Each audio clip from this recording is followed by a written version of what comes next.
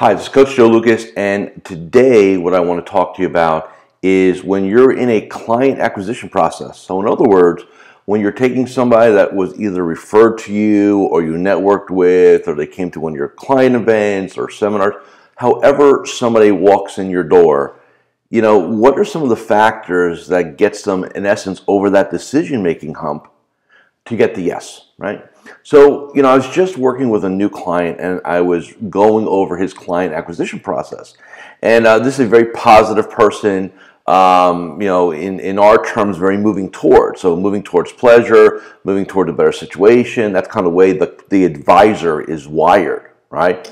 So, when we're wired a certain way, uh, we tend to what I call talk, describe, um, in, in other words, sell in that kind of style. And there's two base, and we all blends, by the way. So there's two forces. And for those that watch me on YouTube, so on one side we have what we call our moving towards, right? That's our pleasure, right? That's that's our pleasure process. In other words, hey, look how great things are over there. Uh, you know, you become a client of ours. You know, we're going to have these calls, and we're going to do reviews, and we're going to have you back. We're going to have your back, and you're going to have a financial plan, and you get to come to all these great client events and all this stuff. And that's all the pleasure, right? Right here.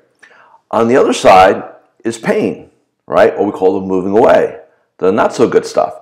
And all human beings have a combination of both, or they, they view both in order to make a decision on whether they should do something or not. You know, that's one of the factors. There's several, but we're going to focus on this one. And so you have, when you're more geared towards all the great things that you can do for somebody, you get all excited, you kind of only fire them off this one lever. Now, if the person you're speaking with, the prospect in other words, and yes, we're going to use that word, is wired like you, you resonate. It's like two peas in a pot, right? And you're going to get the deal. They're going to say yes to you. They'll sign on, sign your ADV, your count forms, whatever, and away we go. And those are great, right? In fact, you just, man, how come it all can't be that easy, right? It would be wonderful it was, but it's not. The other side, and by the way, most people have a predominant negative piece, so pain piece, if you will. Most people will do more. Here's the term, and I got this from Tony Robbins, so I can't take credit for it. Most people will do more to avoid pain than to gain pleasure. Now, that's a very important statement that we need to remember in our industry because you've got to operate with both. The challenge for most advisors and planners is that they don't like that conversation because it's kind of, you know, it's not comfortable, but it's highly effective. And here's the question you need to ask yourself Are you there to do what's in their best interest? You know, this whole fiduciary thing. And here's my point if you know that you can improve, you know, this prospect, this this referral, this whoever this person is, if you can do that, but you don't do your best or make best efforts to persuade them, to influence them, to hire you, did you really operate in your best capacity? Or did you cha- or did you basically take the easy way out? Oh well, they weren't going to do anything anyway, and we have that rationalization, right, that we have. So what you need to do is to how to now how do we fight off that pain? It's very simple. You ask questions about their current situation. So, hey, you know, tell me a little bit about your current, assuming they're within a, a, a, competitor. Hey, tell me about your current relationship with your current advisor. Tell me about that. And you let them talk about it. And, and then you say, well, you know, what, what do you wish was better? Or what brought you here? You know, nobody's going to go sit with somebody unless there's a, a, reason for it. So I need to know what that reason is. And you need to kind of, you know, kind of dig in there a little bit and then say, well, tell me more about that and why is that important to you? And don't you feel like you deserve better than that? And you need to kind of get in there, right? Now, if we're doing fees, we like to extrapolate fees. So if, if, if they're being overcharged or charged in a high scenario, we don't want to talk about, well, we can shave 25 basis points off I want to take that 25 and show them what it cost them in the last 10 years and what it potentially may cost them in the next 10 years. I want I want to kind of put gasoline on that pain because I need to get them over that decision making threshold. Remember, most people do not, most people do not like change. And you represent change to people.